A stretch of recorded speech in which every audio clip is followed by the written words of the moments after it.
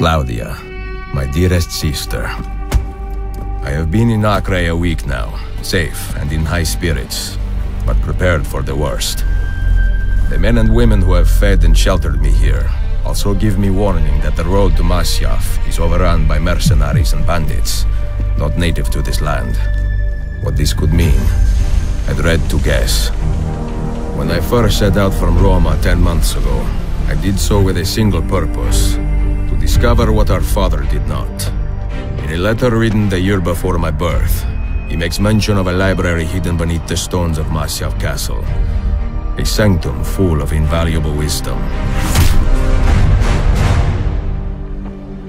So what will I find when I arrive there? Who will greet me? A host of eager Templars, as I fear most strongly. Or nothing but the whistling of a cold and lonely wind. Masyaf has not been home to the assassins for almost 300 years now. Can we still claim it for our own? Are we welcome there?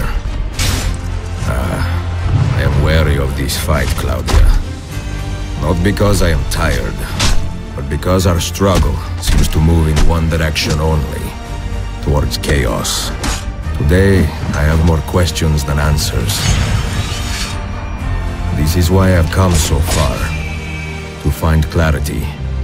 To find the wisdom left behind by the great Altair. So that I may better understand the purpose of our fight. And my place in it.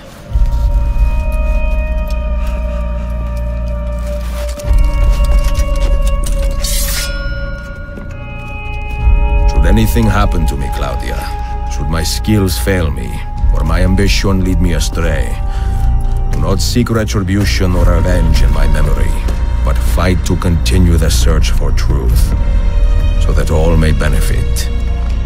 My story is one of many thousands, and the world will not suffer if it ends too soon.